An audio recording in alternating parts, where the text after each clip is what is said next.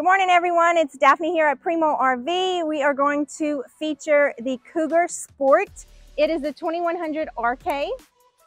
Front cap has LED lights on it. You have a awning, marine grade speakers. You do have a place for a generator and your battery goes under there. Propane tanks on both sides. Huge pass-through storage. It is a double axle unit. It has tinted windows and the nice aluminum steps. On the back side, you can put a ladder here. It is prepped for a backup camera and you can tow.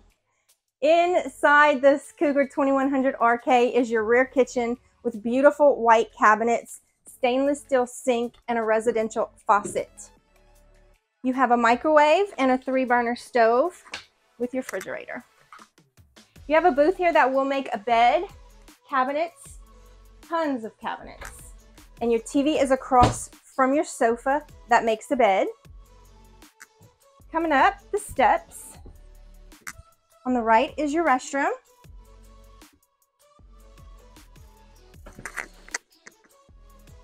And in the bedroom, tons of storage again above head and on the sides. You have USB ports and outlets on both sides and you do have tons of storage again on under the bed.